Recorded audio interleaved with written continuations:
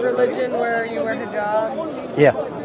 Does everyone wear them or? So once a girl has reached the age of puberty and she's mature, it's obligatory for her to adorn the hijab. Wait, what does obligatory mean? Obligatory means you have to. Oh, yeah. Like if you don't, then it's sinful within the religion. Oh, okay. And it's it's actually very beautiful because if you if you actually think about it, the long hair.